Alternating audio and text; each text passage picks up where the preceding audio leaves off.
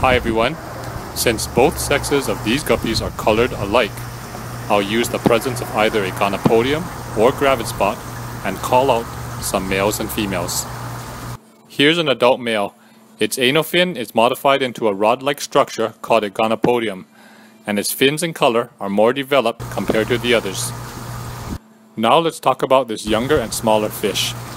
Its anal fin remains fan-shaped, and a gravid spot is now visible, indicating that this young fish is a female. Here's another female, this time an adult.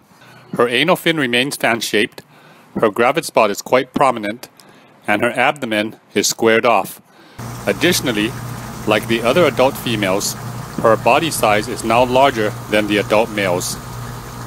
Finally, here's a juvenile male. Although its fins and color are not yet developed, we know it's a male because its anal fin has started its transformation into a gonopodium and is no longer fan-shaped. This fish also lacks a gravid spot. If you can see the difference in these fish, congratulations because now you can sex any strain of guppy. Thanks for watching.